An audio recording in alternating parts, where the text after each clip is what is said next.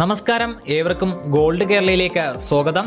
എല്ലാ ദിവസവും സ്വർണവില കൃത്യമായി അറിയിക്കുന്ന ഈ ചാനൽ ദയവായി ലൈക്ക് ചെയ്യുക ഷെയർ ചെയ്യുക സബ്സ്ക്രൈബ് ചെയ്യുക.